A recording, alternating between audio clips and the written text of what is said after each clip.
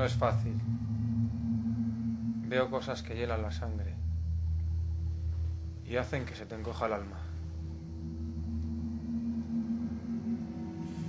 Es un don que no he pedido tener y ojalá nunca hubiese tenido. No me gusta la pregunta. No es una buena pregunta.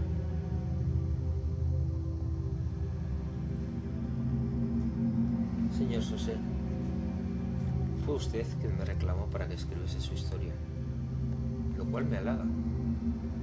Escribir sobre el más grande adivino de todos los tiempos es un placer. Sin embargo, debe usted colaborar.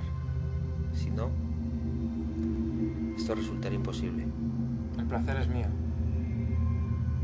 Te aseguro que tendrás el artículo de tu vida. ¿Eso es un comentario personal una predicción?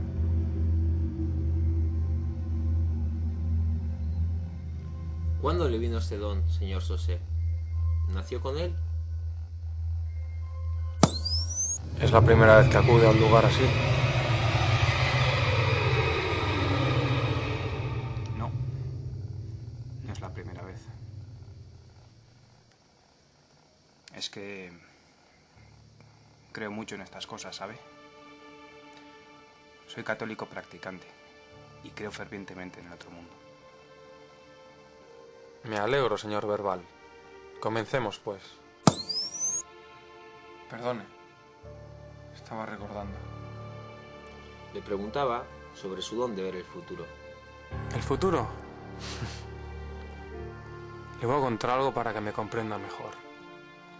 Una noche, no hace mucho, vino un joven preguntando por su porvenir. Deseaba saber cuál sería su destino. Y lo supo. Vaya que sí lo supo.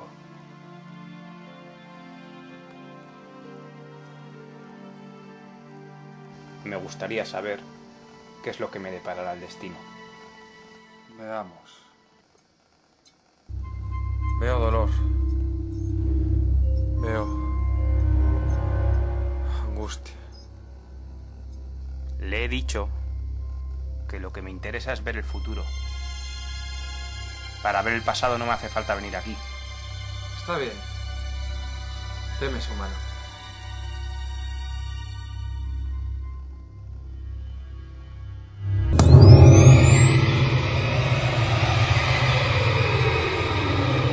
¿Qué estás haciendo, puta?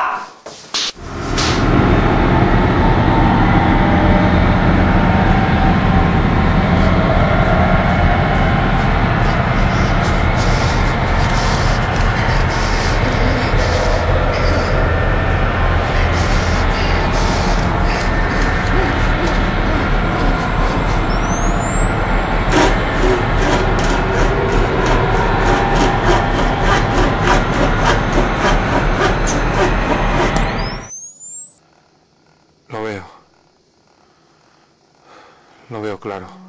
¿Lo ve? ¿Ve mi futuro? ¿Y qué, qué es lo que ve? ¿Cómo va a ser?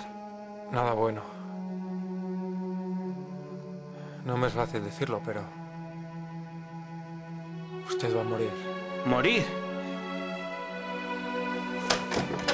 ¿Cómo? ¿Cuándo? Usted va a morir en un accidente de coche. Cuándo es relativo, pero será dentro de no mucho. No es fácil decirle esto a nadie.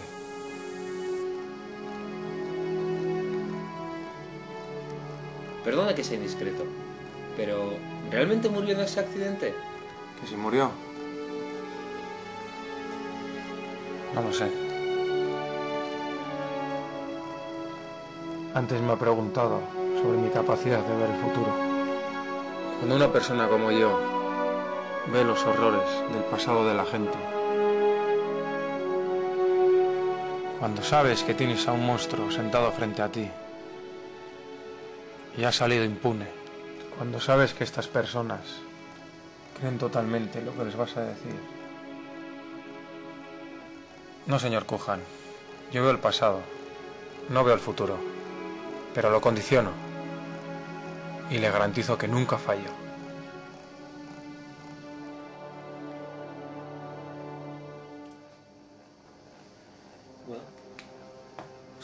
Ya tengo suficiente material. Muchísimas gracias, señor José. Disculpe, señor Kujan. No se marchará usted sin que le eche las cartas.